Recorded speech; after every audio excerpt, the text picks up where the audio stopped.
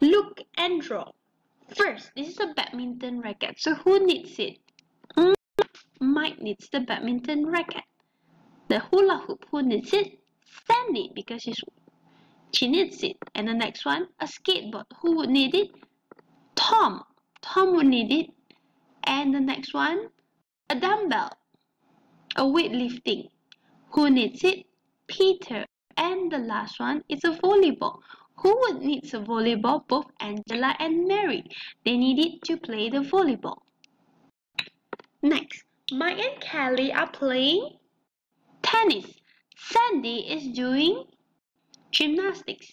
Peter is exercising. Angela and Mary are playing volleyball. Tom is skateboarding.